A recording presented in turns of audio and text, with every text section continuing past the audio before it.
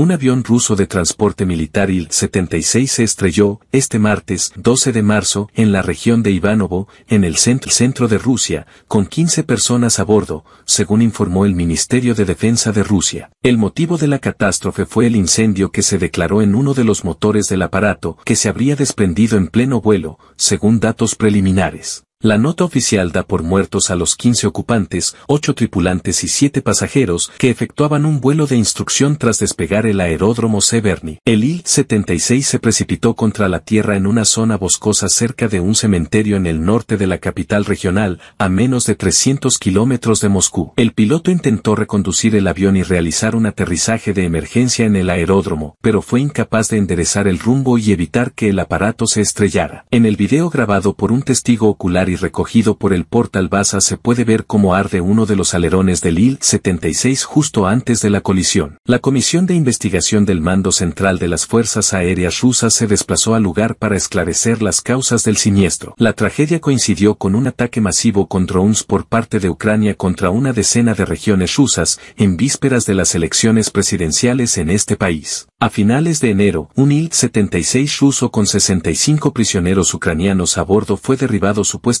por Kiev en la región de Belgorod, según denunció el Comité de Instrucción de Rusia. Según F.